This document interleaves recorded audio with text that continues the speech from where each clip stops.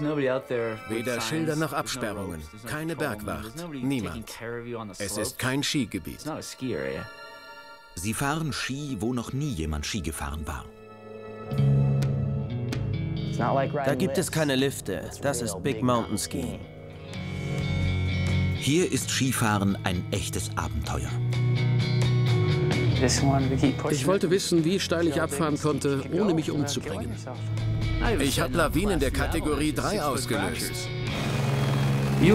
Man kann akzeptieren, dass man dabei umkommt. Extremskifahren ist eine Lebenshaltung. Es hat mich zum Mann gemacht. Die Gefahren sind groß, doch der Kick ist größer. Ohne Risiko kein Abenteuer. Und Abenteuer ist ein wichtiger Teil des Lebens.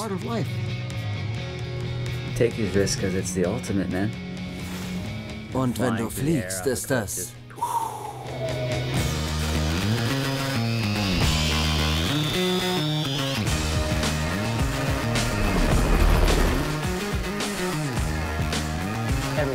Die meinen, du seist durchgeknallt und hättest keine Angst.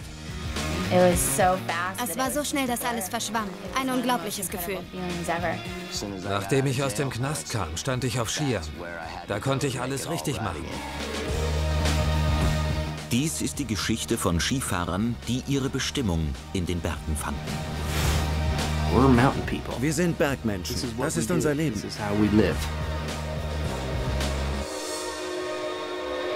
Ich wollte ein normaler Mensch mit normalem Job werden. Das ging aber nicht.